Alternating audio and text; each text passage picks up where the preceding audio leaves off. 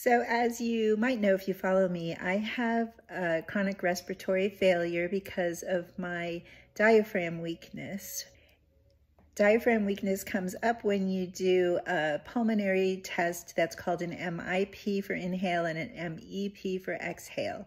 So mine are, are pretty low. I have shortness of breath. I have problems um, sleeping. I'm on a non-invasive ventilator overnight so I can breathe. So my fabulous doctor, Dr. Michael Shapiro, retired, and my new fabulous doctor is Dr. Elizabeth Rosenthal with UT Health. Um, and she is fabulous. She decided to kind of look at my case with fresh eyes and do some new testing. So I've never had this pulmonary test that looks at how my diaphragm moves. Uh, it's called the sniff test.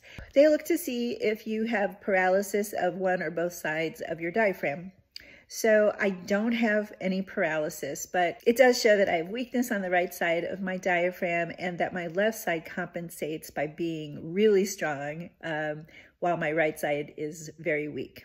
There's something so validating about having physical evidence that nobody can deny that it's right there in front of them. I'm not making it up. My mind doesn't make this happen. I've been told my whole life that my breathing issues were in my head and it's just so damaging and gaslighting to people. So thank goodness for fabulous doctors who look beyond and find the issues.